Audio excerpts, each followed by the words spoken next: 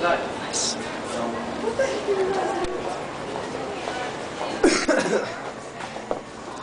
hey, don't do that. You want disturb its magical obelisk powers. No, you guys, we can't let you take pictures. Very well. Oh, okay.